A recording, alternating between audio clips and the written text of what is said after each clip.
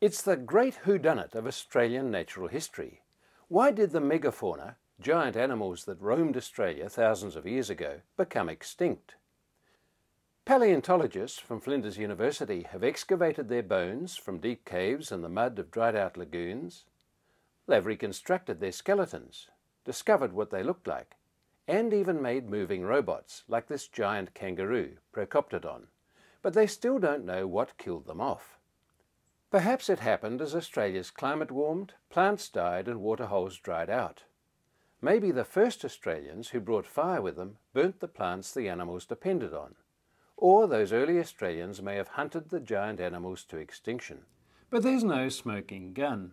Aboriginal middens can be found all across the country, and they're full of the remains of their meals shellfish, bones of fish, birds, and small mammals, but none of these large ones.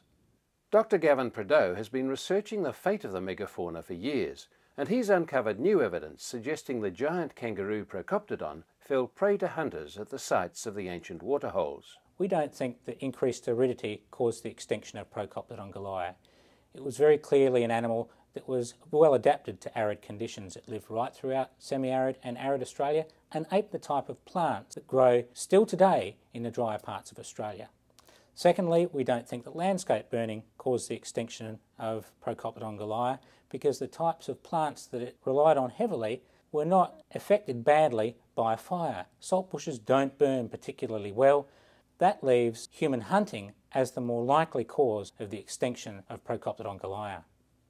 The largest kangaroo that ever evolved was mainly an animal that ate saltbush and blue bushes, hardy shrubs that grow through the drier parts of Australia and we could determine that from looking at the structure of its skull, its very robust jaws, its big teeth that had a lot of crests for pulverising this type of vegetation. But we also used some other techniques by looking at certain isotopes that were preserved in the tooth enamel. And we also looked at tiny little scratches preserved on the tooth enamel, which also suggested that it ate tough browse vegetation. The oxygen isotopes preserved in the enamel of Procoptodon indicate that it had to drink more free water than the other animals that were living at the same time, the wombats and the kangaroos that were around at the same time.